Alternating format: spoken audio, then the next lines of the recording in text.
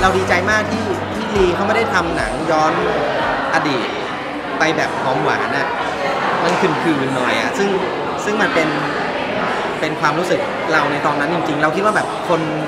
ในช่วงเวลานั้นอะก็ก็ก็จะแบบอยู่ในอารมณ์แบบเนี้ยก็ตอนแรกก็ไม่ได้คิดว่ามันจะเป็นหนังพูดเรื่องความรักเท่าไหร่ คือนึกว่าจะพูดเรื่องเกี่ยวกับสังคมเศรษฐกิจในยุคนั้นน่ะแต่พอมาดูจริงๆแล้วเนี่ยเรากลับรู้สึกว่าหนังเรื่องเนี้ยเป็นการพูดเป็นหนังที่พูดเรื่องความรักมากกว่า แล้วก็ความรักที่ว่าเป็นความรักที่ตัวละครไม่ว่าจะเป็นยุคไหนสมัยไหนก็สามารถเข้าใจได้ คือเรื่องนี้คุณเจนนี่สวยมาก แล้วก็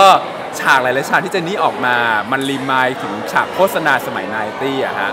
เช่นฉากที่เจนนี่เต้นลำเต้นฟามิงโกอยู่ในคอนโดฟามิงโกหรือเปล่าเต้นสเปรย์หรืออะไรอยู่ในคอนโดอะนะฮะที่ใส่ชุดสีขาวนั่นน่ะนั่นมันคือความฝันแฟนตาซีของผู้หญิงในยุค ninety ที่แบบต้องมีบ้านสวยๆมีชีวิตดีๆอย่างนั้นอะไรอย่างเงี้ยแล้วจริงๆแล้วมันคือ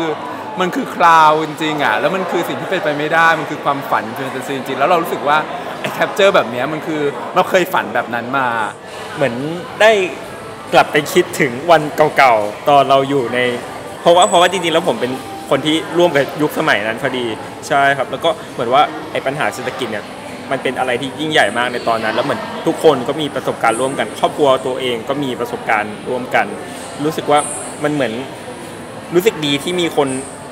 เมนชั่นเหตุการณ์นี้ไว้ในภาพยนตร์ไทย ดีมากครับเป็นหนังไทยร่วมสมัยมาร์ค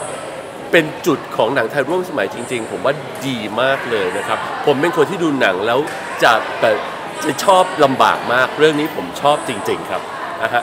เอ่อสนุกครับดีแล้วไม่ไม่ดีมากไม่สนุกมาก แต่ว่าไม่ดูเสียชาติเกิดครับ ลืมเธอไม่ลงทาง